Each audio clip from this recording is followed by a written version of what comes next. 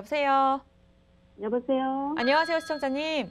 네, 안녕하세요. 네, 오늘 어떤 물건 고민 있으실까요?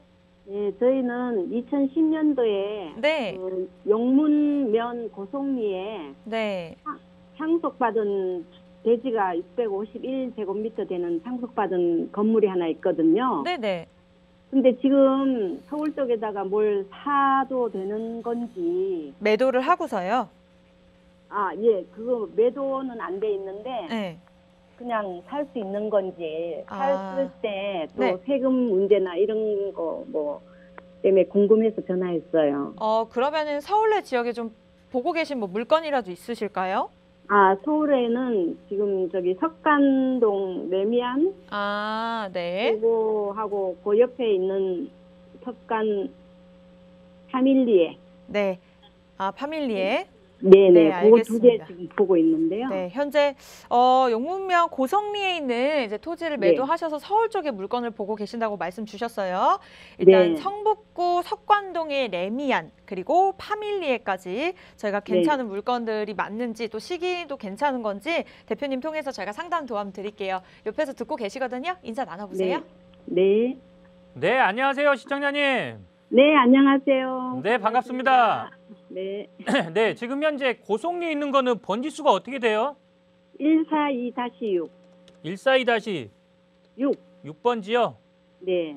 이거 지금 현재 주택인가요? 네네. 주택 집이 지어져 있어요? 네네. 이거 상속 받으신 거고 네. 그러면은 지금 현재 여기 거주는 하고 계신 거예요? 거주는 서울에 하고 있는데요. 네. 거기는 그냥 왔다 뭐 주말에 왔다 갔다 하는 서울에서는 거주하는 집이 작아세요? 전세예요. 아니에요? 전세예요. 이거 하나밖에 없어요, 지금? 네네네네. 그러면은 이거 상속은 언제 받으셨어요? 2010년도예요. 2010년도에 네. 자 일단은 2010년도에 상속 받으셨고 이거 주택으로 지어져 있다는 얘기시잖아요. 네네. 그리고 이거를 매도하시고 서울 지역으로 갈아타시려는 거세요?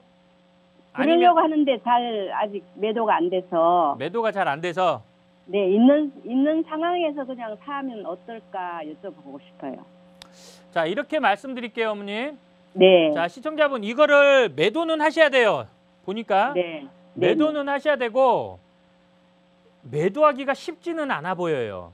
네. 매도하기가 쉽지 않아 보인다는 얘기는 무슨 얘기냐면은 지금 현재 상속받은 땅 자체, 땅 모양 자체가 네. 그렇게 썩 좋은 모양이 아니에요. 음? 네. 이게 피 어떻게 보면 쓸모가 있는 땅이라고 보기는 어려운 거라고 보시면 돼요. 네. 그냥 이 그 그냥 어떻게 보면은 농사 짓고 그럴 만한 네네. 땅 그거 위에는 쓸모가 없어요. 네 네. 그러다 보니까 매도 자체가 좀 어렵다고 보셔야 돼요. 네. 예, 그래도 어찌 됐든 간에 시세보다 싸게 나, 쏘- 싸게 놓든 뭘 어떻게 하든 간에 무조건 매도는 하셨으면 좋겠어요, 이거는. 네네. 이거를 가지고 있음으로써 주택에 포함이 돼요. 아 주택에 포함이 돼요? 네. 주택에 음. 포함이 되기 때문에 이 부분은 매도하시는 게 낫고 혹시 네. 주택이 평형대가 몇 평인가요?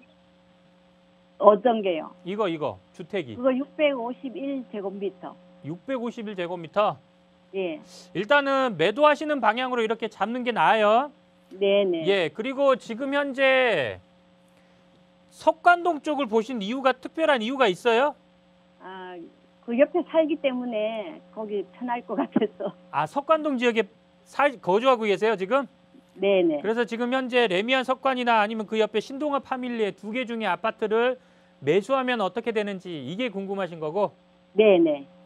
금액대가 여기가 조금 금액대가 그래도 나가거든요. 네. 그 매수하실 여력은 되시는 거예요? 네네.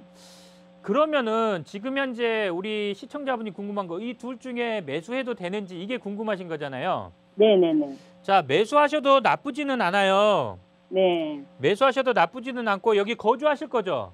네, 거주할 거. 거주하실 거잖아요. 네. 매수하시는 것 자체는 찬성이에요.